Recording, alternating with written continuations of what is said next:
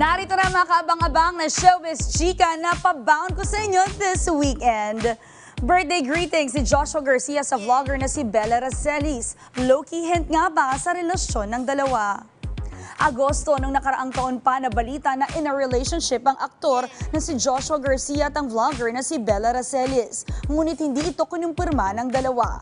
Kahapon lang ay binati ni Joshua ng happy birthday si Bella sa kanyang IG story kung saan makikita ang matchy bracelet na suot ng dalawa. Bukod dito ay nilapitan pa din ni Joshua ng kantang Those Eyes ang kanyang IG story na may lyrics tungkol sa pagiging in love nang nagpakilig sa maraming netizens.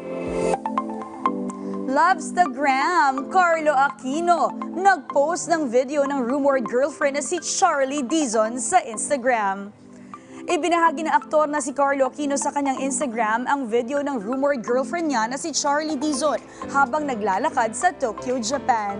Sinamahan ito ng aktor ng sweet na caption na Tokyo Have My Heart. Ito ang unang beses na nagpost si Carlo sa Instagram ng video ni Charlie matapos ang kumpirmasyon nito na nasa getting to know each other stage sila ng aktres. Samantala, matatanda ang kasalukuyang nasa Japan ang aktor para mag-shoot ng kanyang international film.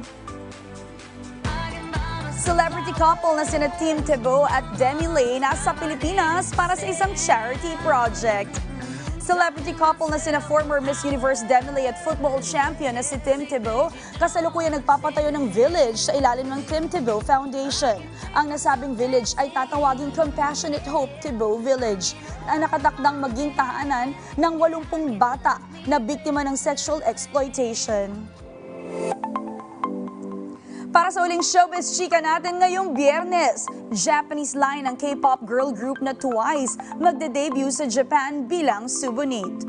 Ayon sa anunsyo ng Korean entertainment portal na Sumpi, magde-debut sa Japan bilang kauna-unang subunit ng girl group na Twice ang Japanese line nito na kinabibilangan ni Mina, Sana at Momo. Inaasahang magre-release ng mini-album ang Japanese line ng grupo sa ika-26 ng Hulyo bilang Miss Samo na nagmula sa pangalan ng tatlong miyembro nito. At dito na nagtatapos ang ating Showbiz Chika for this week. Ito ang yung Talk Biz Live Queen, Dayan Medina Illustre para sa Talk Biz.